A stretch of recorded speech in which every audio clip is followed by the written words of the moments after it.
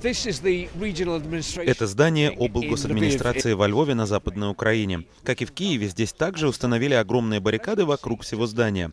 Для постройки баррикад используют мешки со снегом, покрышки, бревна.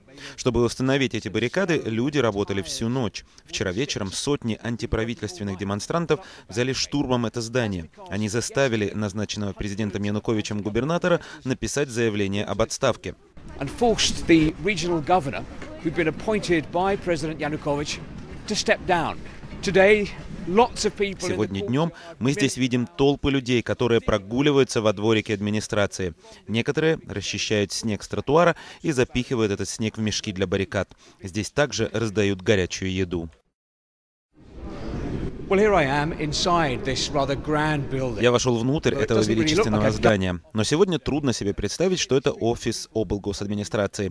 Толпы людей с интересом заходят сюда, чтобы посмотреть, что здесь происходит. Судя по всему, представители профсоюзов, молодежных организаций и демонстранты решили вместе взять штурмом здание в отместку на происходящее в Киеве в знак протеста против действий властей. Поступает все больше сообщений о других облгосадминистрациях в других областях, которые протестующие либо пикетируют, либо захватили. Если власть возьмет ну, все-таки народ, или нас вынесут вперед ногами убитыми, мы не, отсюда не уйдем. This is Andrew, who is это Андрей. Он называет себя комендантом. Он руководитель одного из местных профсоюзов. Он рассказывает, что, как правило, здесь работает множество чиновников, которым теперь сюда вход воспрещен. Здание принадлежит протестующим.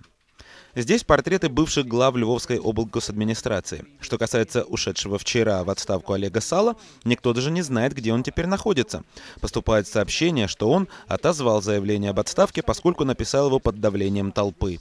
Но людям, которые находятся здесь, это не интересно. Теперь власть здесь у них в руках.